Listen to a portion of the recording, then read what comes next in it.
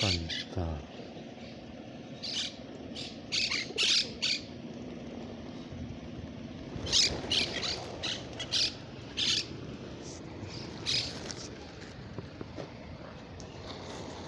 Esta mierda. Está de un parque, tío. De un puto edificio.